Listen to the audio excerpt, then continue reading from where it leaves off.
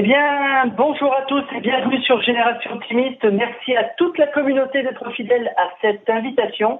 Un nouveau rendez-vous qui s'installe sur notre réseau, un rendez-vous unique. Il s'agit de la semaine francophone de la PNL.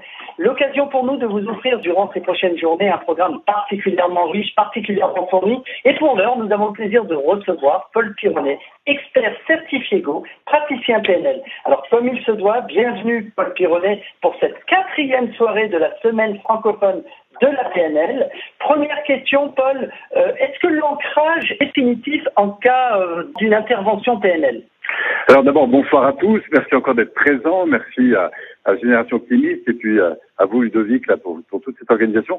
Alors, est-ce que les ancrages en PNL peuvent durer longtemps? Ça, c'est une question qu'on nous pose assez régulièrement. Alors en fait, il faut savoir qu'un ancrage, c'est quoi? C'est une association qu'on va faire émotionnellement liée à un stimuli. Donc il y a un stimuli, c'est-à-dire quelque chose qu'on a pu voir, entendre ou ressentir, qui nous a marqué de manière positive ou négative.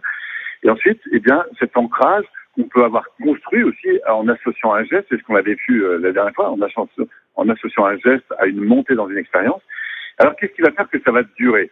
En fait, il y a deux critères qui font qu'un ancrage dure. Le premier, c'est l'intensité de l'événement.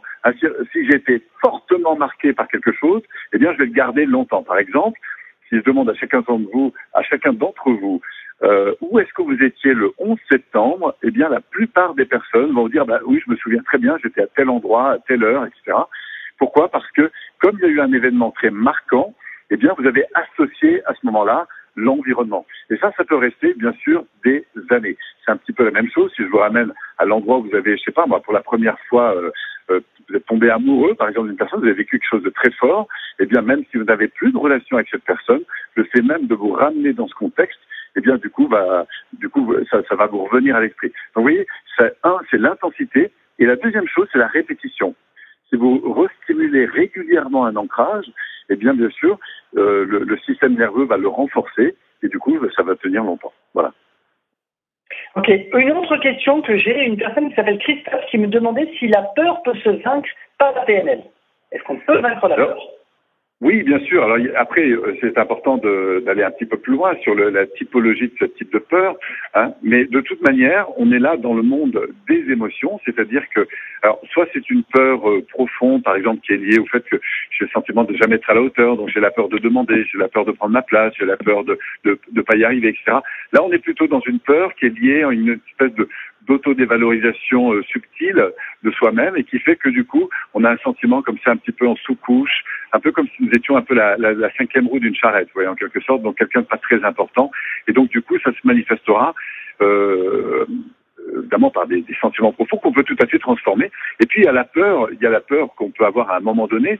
Alors soit parce que tout d'un coup j'ai peur des chiens, simplement parce qu'un jour j'ai été marqué par les chiens, donc on, on dit qu'on a là un ancrage négatif et qui fait que du coup, ben, dès que je vois un chien à distance, eh ben, j'ai une peur qui monte comme ça et qui est parfois euh, euh, extrêmement importante. Ça peut jusqu'à la phobie. Hein, euh, auquel cas on aura une réaction qui est disproportionnelle. Alors là aussi, la PNL peut évidemment transformer notre relation à la chose parce que Là, il y a une chose importante à comprendre, c'est que c'est pas au niveau du cortical, c'est-à-dire c'est pas au niveau de la compréhension que ça se passe. Comprendre pourquoi on a la peur des chiens et essayer de le traiter en comprenant, ça sert à rien. C'est comme tirer sur ses lacets de chaussures pour essayer de décoller de terre. Il faut impérativement avoir des outils qui travaillent au niveau émotionnel, c'est-à-dire le fait de réassocier un sentiment de sécurité à l'égard euh, du chien, par exemple. Donc là, on est sur des peurs, euh, évidemment, qui peuvent se surprendre, qui sont liées à des apprentissages.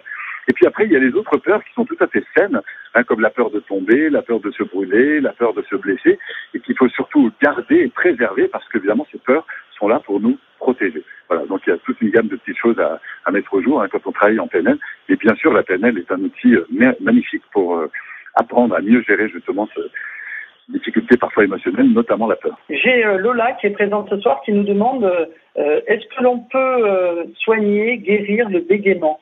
Car elle a entendu dire que la PNL pouvait intervenir dans ce cas. Alors, moi, je suis pas un spécialiste du bégaiement, mais j'ai effectivement, au cours de ma carrière, ça fait euh, bientôt 25, enfin plus de 25 ans que j'accompagne des personnes, et j'ai eu plusieurs cas de personnes qui ont vraiment fait des progrès. Mais je crois que c'est surtout lié au fait qu'ils ont travaillé sur le sentiment interne qu'ils vivaient à l'égard de certaines situations. Ce qu'on s'est rendu compte, et c'est comme ça qu'on va vérifier si la PNL peut faire quelque chose, c'est est-ce qu'en état de stress, le bégaiement augmente. S'il augmente en état de stress, alors oui, on peut faire quelque chose en PNL. Hein, c'est-à-dire que pourquoi? Parce qu'on on saura que c'est une cause émotionnelle qui entraîne en fait euh, euh, par euh, réflexe en fait. Hein, c'est comme si vous aviez un réflexe intérieur, quoi, ce qui fait qu'il y a une contraction qui se fait au niveau au niveau du, du à l'intérieur, quoi. Et, et, du coup, la personne, parce qu'elle est en tension, eh bien, se met à bégayer. Et on va voir qu'effectivement, si on l'aide à justement se détendre et à transformer un petit peu sa relation, parce que la peur, bien sûr, de bégayer peut entraîner un bégaiement plus fort. Et c'est comme ça qu'on a vu, j'ai eu, moi, dans les propres formations, des personnes qui ont fait de très, très nets progrès parce que justement, ils ont appris à mieux gérer leur état émotionnel à l'égard de la situation. C'est-à-dire qu'on a désancré en quelque sorte un certain nombre de, de situations. Voilà. Ça, c'est la partie PNL. N'interviendra qu'à partir du moment en état de stress, si ça augmente, alors oui, la PNL va pouvoir faire quelque chose. Eh bien, merci, Paul. Et pour ce soir, il était prévu donc euh, comme sujet, je crois, la communication. Est-ce que vous pouvez nous en dire plus? Si on revient un petit peu à la racine du mot, euh, commun, communauté, vous voyez, commun, ça vient du mot, euh, enfin à l'origine, hein, de, de, de, être avec. Donc, être en relation, c'est à dire, c'est créer ce, ce champ d'échange qui se fait à la fois sur le plan verbal et bien sûr sur le non verbal et qui va favoriser cette interaction. Alors à quoi ça sert de bien communiquer? Bien sûr d'échanger euh, de l'information hein, quand on en a besoin. Ça peut aussi permettre d'échanger des émotions et puis bien sûr des choses qu'on a apprises et qu'on voudrait apprendre hein, euh, avec les autres. Alors, quand on parle de communication, c'est un peu comme deux icebergs qui se rencontrent, hein, deux personnes qui se rencontrent et qui communiquent ensemble. On va dire qu'on a d'abord la partie qui dépasse, qui serait la partie consciente, c'est-à-dire ce sur quoi je peux porter mon attention quand je communique. Par exemple, est-ce que la personne me regarde, est-ce qu'elle est avec moi quand elle parle, etc. Et là, plus vous allez étudier d'outils, il y en a, ils sont nombreux sur le marché, plus vous allez éveiller vos, vos compétences à observer, à entendre, etc., plus vous allez pouvoir vous adapter à la relation. Puisqu'on va voir que pour mieux communiquer, c'est surtout une affaire de forme. Donc il y a ce qui est conscient. Il y a un deuxième niveau qu'on va approfondir un petit peu ce soir, qui est la dimension plus émotionnelle de la relation et qui est liée au ressenti. Et je vous dirai tout à l'heure que c'est la partie la plus importante dans une relation, hein, puisqu'on va voir qu'on échange bien sûr des, des, informations, mais à travers ces informations, nous avons des ressentis, et c'est ces ressentis, encore une fois, qui vont conditionner nos comportements, qui vont conditionner nos comportements. Et c'est pour ça que quand vous êtes justement heureux, bien à l'intérieur, vous êtes nourri, vous êtes porté, vous êtes en confiance, et bien vous avez naturellement des comportements relationnels qui sont plus positifs. C'est beaucoup plus difficile quand vous êtes dans les états émotionnels négatifs, de type peur, de type colère, de type etc., hein, puisque vous allez justement développer, grâce, si je puis dire, à ces états internes, des attitudes différentes. Donc on va voir que la forme compte beaucoup, et justement c'est cette dimension émotionnelle qui va jouer. Donc on a le, ce qu'on appelle le préconscient, et puis on a l'inconscient. Hein. Donc le conscient, c'est ce dont vous avez conscience. Le préconscient, c'est ce qui est un peu en arrière-plan, mais qui fait que vous allez sentir une personne ou pas la sentir. Et puis il y a ce qui est beaucoup plus profond. Là, il y a des tas d'outils aussi sur le marché. Comprendre comment vous êtes construit, quelle est l'histoire que vous avez eue, la culture dans laquelle vous avez grandi, parce que tout ça compte dans une relation. Alors pour faire simple, la, la, la première chose, si vous voulez accroître votre qualité de relation, la première chose à faire, c'est apprendre à recevoir de l'information. Et donc pour ça, c'est apprendre à écouter et à entendre. Hein, donc ça veut dire développer des facultés à euh, recevoir de l'information pour pouvoir vous adapter avec celle-ci. Vous voyez, c'est un peu comme, euh, qu'est-ce qu'on veut dire? Quelqu'un qui est expert, quel que soit le domaine, que ce soit en peinture, que ce soit en construction, que ce soit en mécanique, qu'est-ce que fait de différent un expert d'un autre Il est capable d'observer des choses que les autres ne voient pas, et en fonction de ce qu'il va observer, il va pouvoir réagir de manière adaptée. Donc tout ça pour dire que faire de la communication, être un, si vous voulez développer des compétences en matière de communication, il y a beaucoup plus à travailler sur la réception de l'information que sur l'émission d'information. Et donc la réception de l'information, c'est quoi? C'est bien sûr ce qui est dit, il y a le contenu, comme vous, et puis il y a la manière dont c'est dit. Or, en matière de communication, même si au final c'est important, c'est ce que nous communiquons, c'est du contenu, n'empêche que pour que ça fonctionne bien, quand ça va être un petit peu difficile, c'est la forme qui va être importante. La forme permet d'entrer dans le fond. Hein, vous avez le fond et vous avez la forme. le fond, c'est ce que vous voulez échanger, ce que vous voulez soit recevoir ou soit faire passer. Et la forme, c'est la manière dont vous allez vous y prendre. Et si vous voulez accroître votre qualité de relation, c'est surtout sur la forme. C'est exactement comme si vous voulez danser avec quelqu'un. C'est-à-dire qu'il va falloir entrer dans sa forme, se mettre au même rythme, et on va voir qu'il y a quelques réflexes à développer. Donc, en matière de communication, première chose, apprendre à écouter, c'est-à-dire recevoir de l'information. Donc, par exemple, si vous êtes en conversation avec vos enfants et que vous êtes en train de parler, eh bien, la première chose, ça va être d'apprendre à écouter. Alors, il y a plusieurs techniques qui, peuvent, euh, que vous pouvez mettre en pratique et expérimenter. La première, c'est ce qu'on appelle l'écoute active. Hein, l'écoute active, ça veut dire quoi? Ça veut dire que vous êtes acteur de votre écoute. Si jamais vous perdez le fil, le mieux, c'est de lui dire, voilà, j'ai compris jusque-là, puis après, est-ce que tu veux bien revenir là-dessus? Vous aurez d'autant plus le enfin, la personne aura d'autant plus le sentiment que vous l'écoutez.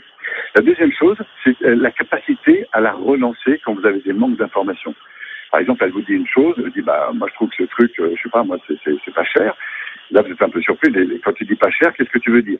Voilà. Donc, vous allez ensuite faire de la relance. C'est la deuxième technique qu'on va avoir dans l'écoute active, qui consiste à poser des questions pour amener la personne à vous en dire un petit peu plus. Et ça, c'est très important parce qu'en matière de relation, ça va vous permettre, notamment, on le verra dans les divergences de points de vue, de mieux rentrer dans la perception de ce que l'autre veut dire.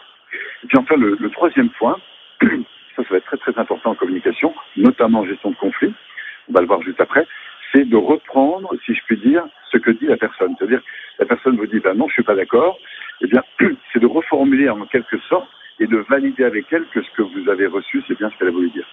Et ça, ça va être souvent important de faire ça, parce que ça permet de valider, bien sûr, chez vous, ou de faire préciser, et surtout de reconnaître la personne sur le fait que vous l'avez entendu. ça s'appelle la reformulation euh, synthétique. Voilà, donc trois formes, hein, montrer à la personne que vous suivez, relancer, et puis faire temps un peu des synthèses de ce qu'elle vous a dit. Le point le plus important, ça vous pouvez le noter en gros, si vous que vous avez quoi noter, que ce que je vais vous dire, vous pouvez l'afficher partout, dans votre bureau, dans les salles de formation, etc. Quand vous êtes en divergence de point de vue, que ce soit avec un enfant, avec vos parents, avec vos collègues de travail, etc., et ça va arriver souvent, quand vous êtes en divergence de point de vue, la priorité numéro un, c'est commencer par reformuler avec succès ce que vous dit la personne. Et moins vous êtes d'accord avec elle, plus c'est important de le faire. Je répète, reformuler avec succès ce que vous dit la personne, et moins vous êtes d'accord avec elle, plus ça va être important de le faire. La personne vous dit, moi je pense qu'on ne peut pas lui faire confiance.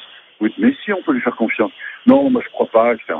C'est très important si vous voulez rentrer en communication avec la personne de dire, ok, ce que tu me dis, toi, c'est que pour toi on ne peut pas lui faire confiance. Pourquoi? Pourquoi c'est très important de faire ça? Parce que quand une personne défend une idée, quelle qu'elle soit, que ce soit le prix du photocopieur, que ce soit l'idée d'aller manger euh, à droite à gauche, de partir à la mer ou, ou à la montagne, quand une personne défend une idée, ce n'est pas l'idée qu'elle défend, c'est le sentiment qu'elle a à l'égard de l'idée. Et vous pouvez rajouter, le sentiment est toujours vrai. Quand une personne défend une idée, ce n'est pas l'idée qu'elle défend, c'est le sentiment qui anime son idée.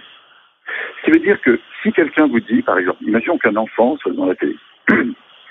Cet enfant, il est 21h30, vous lui dites, bon, ben maintenant, tu éteins ta télé et tu vas te coucher. Réponse, non. Et vous lui répondez, mais si tu vas y aller, parce que je te le demande. Ça, c'est de l'autoritarisme, ça peut marcher parfois, et parfois c'est important de le faire. Mais vous serez beaucoup plus efficace si vous commencez par reformuler ce que dit euh, ce petit bout de chou, et même en allant plus loin. Vous allez lui dire, par exemple, OK, ce que tu me dis, c'est que pour l'instant, tu n'as pas trop envie d'éteindre cette télé. Si tu pouvais jouer une demi-heure de plus, ce serait super, c'est ça? Et là, il va dire oui, c'est ça. OK, j'entends pour toi, ce serait super de rester plus longtemps. Mais tu vois, pour telle raison, je vais te demander maintenant d'éteindre cette télévision. Et qu'est-ce qui va se passer en fait? Il va se passer une chose très importante au niveau du ressenti de ce petit bonhomme, c'est qu'il se sent accueilli dans ce qu'il est en train de vivre. Et s'il se sent reconnu dans ce qu'il est en train de vivre, eh bien, vous allez, c'est ça l'acte fondamental d'une relation, c'est la considération. Et pourquoi la considération? Pour ce que la personne vit intérieurement. Pas pour ce qu'elle défend comme idée, mais pour ce qu'elle vit. Parce que ce qu'elle vit correspond à ce qu'elle est à ce moment-là. Et ce qu'elle est à ce moment-là, eh bien, c'est, elle a juste besoin d'être entendue là-dessus. Et plus la personne vous défend une idée qui va à l'inverse de ce que vous pensez, plus ça va être important. Plus la personne est dans un état de stress ou embarquée émotionnellement dans ce qu'elle défend, ça va être important de reprendre ce qu'elle vous dit avec succès et de valider que c'est bien ça. Alors ça veut dire que vous, êtes d'accord. Ce que tu me dis, c'est que pour toi, jouer une demi-heure de plus dans la télé serait super, c'est ça? Et là, vous allez avoir un oui un oui, ce qu'on appelle un oui de considération. Et c'est grâce à ce oui que vous allez ensuite pouvoir continuer. Si par exemple, euh, quelqu'un vous interpelle, euh, moi ça m'est encore arrivé il n'y a pas très longtemps, je, me fais arrêter par la police pour un... J'avais roulé sur une ligne blanche. C'est quand même euh, grave en code de l'ordre. personne me dit est-ce que vous avez vu ou est-ce que vous avez roulé? Je dis oui, effectivement. Et là, à ce moment-là, le fait de, de, de, reconnaître, pas seulement ce que j'avais fait, mais je, je, comprends que pour vous, en plus, euh, c'est vrai que j'avais la place, j'avais pas du tout à passer au-dessus de ça, et je comprends que qu'effectivement ça vous mette en colère. Donc, dites-moi exactement combien je vous dois, et je vous paye tout de suite. Et la personne me reprend en disant, mais non, mais n'allez pas si vite, on va voir, donnez-moi vos papiers, machin, etc. Et le fait, vous voyez, de, de, de vraiment reconnaître, et même euh, de, de, de, donner de la reconnaissance à, cet homme, ce policier en l'occurrence, qui justifie son acte, euh, eh bien, c'est un, une marque d'attention qui, à ce moment-là, va changer la nature de notre relation. Alors, j'ai pas le temps là ce soir parce que de vous donner énormément de, d'exemples, mais j'en ai, j'en ai, j'en ai, vous pouvez pas imaginer. Donc, surtout, c'est une chose à retenir ce soir, c'est ça. C'est la capacité à reconnaître ce que vit la personne et commencer par lui dire ah, simplement, la reconnaissance, ça veut dire, encore une fois que vous êtes d'accord, c'est ce que tu vis ou ce que tu exprimes ou ce que tu défends comme idée, c'est. C'est bien ça Oui. Vous attendez ce oui-là, ce qu'on appelle un oui physiologique, c'est très important. Et à partir de là, vous passez au stade 2 et vous négociez. Ça, c'est le point très Et qui sont trois réflexes à transformer quand vous êtes en relation de divergence de point de vue. Et je vais vous expliquer pourquoi ces réflexes arrivent. Le premier réflexe, et ce sera vrai, plus vous connaissez les gens, plus ce que je vais vous dire est vrai. C'est-à-dire que parfois, on se, on, on, on se comporte mieux avec son voisin de palier qu'avec les gens avec qui on vit. Pourquoi? Parce que comme il y a une relation euh, bien construite, on n'est plus en vigilance d'attention. Et ce que je vais vous dire dans ce cas-là va du coup être encore plus fort. La première chose, quand vous êtes en divergence de point de vue avec vos enfants, euh, les gens avec qui vous vivez, les gens avec qui vous travaillez, la première chose que vous allez avoir tendance à faire, et plus vous les connaissez, plus ça va être vrai, c'est à affirmer vos points de vue. C'est-à-dire la personne vous dit non, vous dites si, je te dis que. Mais pourquoi tu fais pas ça comme ça? Mais tu vois, c'est comme ça qu'il faudrait faire. Mais enfin, écoute-moi ceci, cela. C'est la première chose que vous allez faire. Vous allez défendre votre point de vue. Vous allez affirmer votre point de vue. Ça, c'est le premier effet que vous allez avoir. Ensuite, vous allez avoir un deuxième, surtout si vous êtes émotionnellement embarqué, c'est que vous allez faire ce qu'on appelle de la généralisation. C'est-à-dire que votre cerveau, comme il est en train de défendre une idée, un sentiment, il va aller chercher des références qui viennent justifier ce que vous dites. C'est-à-dire que, mais enfin, et vous allez faire ce qu'on appelle de la généralisation. Mais enfin, tout le monde sait ça. Mais je te l'ai déjà dit, ça fait déjà, mais enfin, pourquoi tu me reprends encore avec ce truc? Tu sais bien, non? Et en général, le ton, il va monter un petit peu. Pourquoi? Parce que l'émotionnel va s'en mêler. Et pourquoi l'émotionnel s'en mêle? Parce qu'il est emporté par l'idée que vous voulez défendre. Donc il y a l'idée, puis après il y a l'émotion qui va se...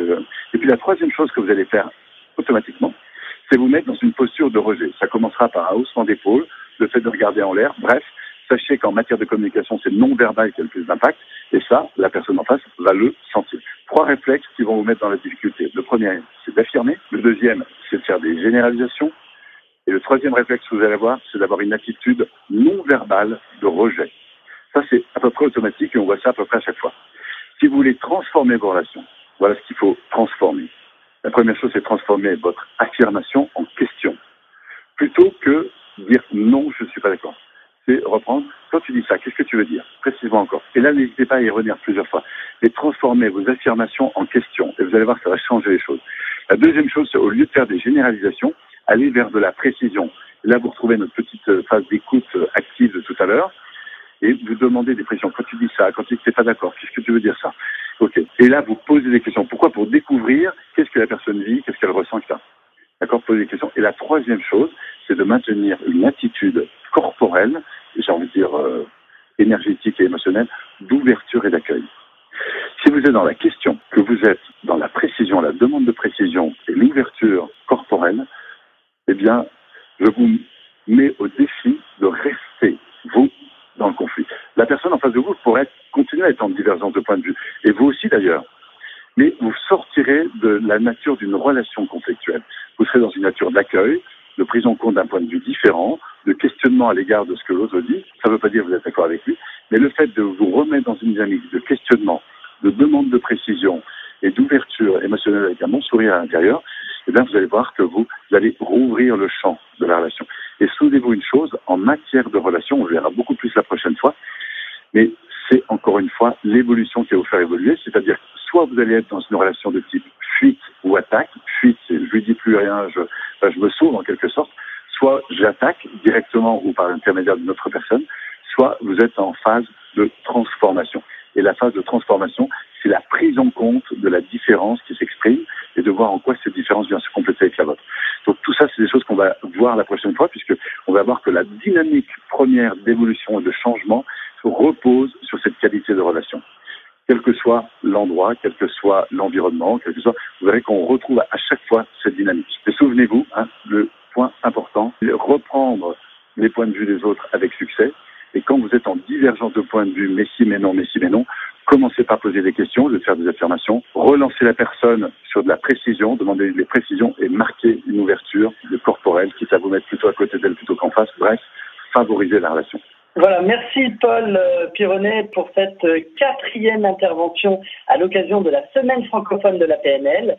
Euh, comme nous avons l'habitude de le faire, eh bien, nous nous retrouvons dès demain, 20h45 heure de Paris, 14h45 heure de Québec pour une nouvelle intervention de Paul Pironnet.